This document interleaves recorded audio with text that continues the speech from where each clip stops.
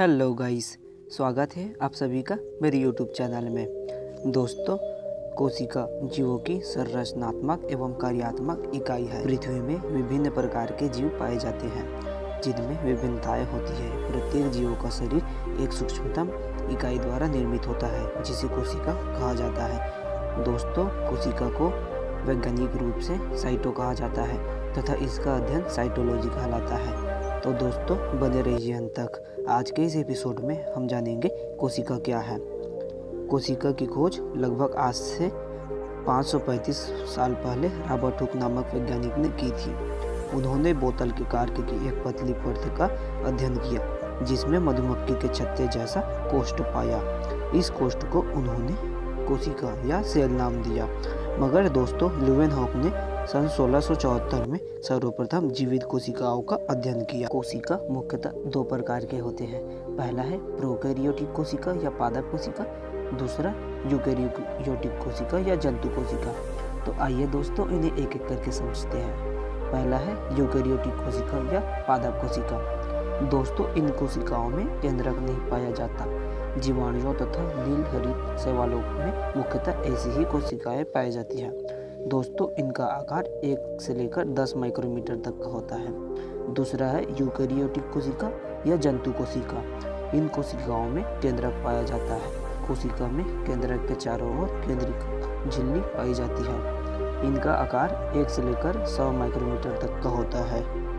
दोस्तों किसी भी कोशिका में मुख्यतः कोशिका भित्ति, कोशिका झिल्ली, राइजोसोम, माइक्रोकॉन्ड्रिया गोल्जी काय राइजोसोम, ये सब पाया जाता है।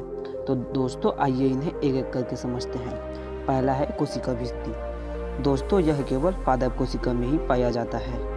यह सेलुलोज का बना होता है। सेलुलोज कोशिकाओं को निश्चित आकृति एवं आकार प्रदान करता है। दोस्तों, जीवाणु का कोशिका भित्ति एल्टी डोगलेन का बना होता है। इस अगला है कोशिका झिल्ली। दोस्तों, कोशिका के सभी अंग एक पतली झिल्ली के अंदर घिरे हुए होते हैं, जिसे कोशिका झिल्ली कहा जाता है। यह एक सेमी परवेबल झिल्ली होती है। इसका कार्य कोशिका के अंदर जाने वाले व बाहर जाने वाले पदार्थों का निर्धारण करना होता है। गाइस, अगला है राइबोसोम। राइबोसोम को सर्वप्रथम पादप कोशिका में रॉबिन्सन एवं ब्राउन्स ने सन उन्नीस सौ तिरपन में देखा, तथा जंतु कोशिका में जीई पेडाई ने सन 1955 में देखा, तथा उन्नीस में रॉबर्ट ने इसका नाम राइबोसोम रखा। यह राइबोन्यूक्लियस अम्ल या आरएनए नामक अम्ल व प्रोटीन से बनी होती है। इसे प्रोटीन का फैक्ट्री कहा जाता है, क्योंकि इसी में प्रोटीन का निर्माण होता है। दोस्तों, अगला है माइटोकॉन्ड्रिया।